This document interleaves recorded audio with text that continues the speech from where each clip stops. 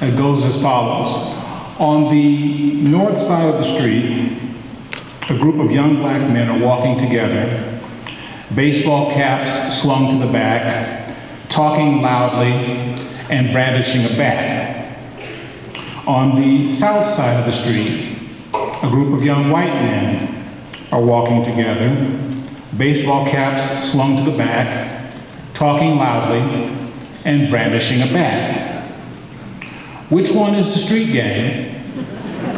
And which one is the baseball team?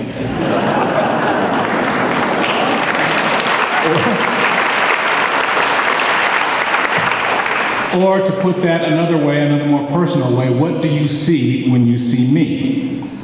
It is a question that has been asked with increasing urgency and, and poignancy over the last few years.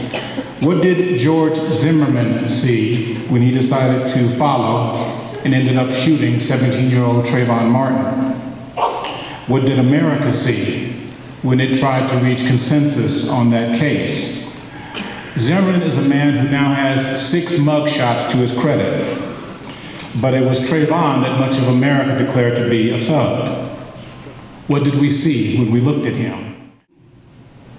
What did police see when Abner Louima tried to show them his wallet and ended up dying in a New York vestibule in a hail of, of bullets? Did they see a wallet? Would they have seen a wallet if he had not been a brown-skinned man? What did people on the hidden camera program, What Would You Do, see when they saw a black kid trying to break the chain on a bicycle in a park? What did they see that made them circle around him, taking cell phone video for evidence and, and call, uh, call police to report a theft in progress? And why didn't they see the same thing when ABC uh, set up a white kid in the same spot trying to break a chain on the same bicycle? Why did they allow him to pass without comment or challenge?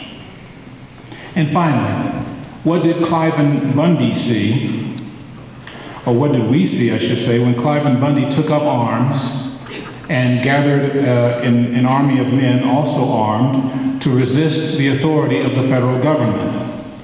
What did authorities see that made them put up with this standoff, this open defiance of the law?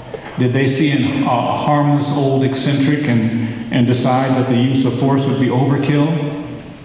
Would they have seen the same thing or reached the same conclusion if Clive Bundy had been African American? What do you see when you see me? Do you see you? Do you see any possibility of you? And if not, then why?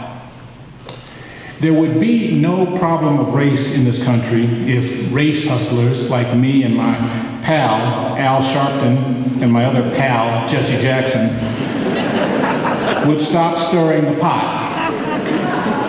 It is a rare day when I don't receive a half dozen emails making that argument in tones of angry indignation. As one lady put it, and I swear this is an exact quote, you cause racism by talking about race.